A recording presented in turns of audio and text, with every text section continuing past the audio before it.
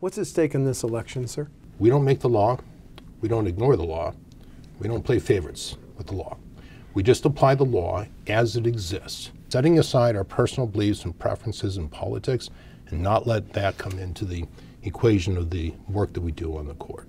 We have um, a divided governor's office, state legislature. The Supreme Court should be our neutral arbiter between those political branches.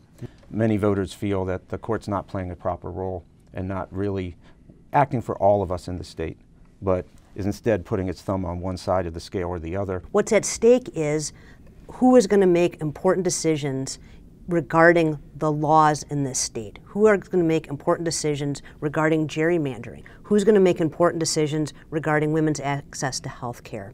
Regarding Wisconsin's response to gun violence, criminal justice reform? What's our democracy going to look like? All of that is at stake for today and for the future of Wisconsin.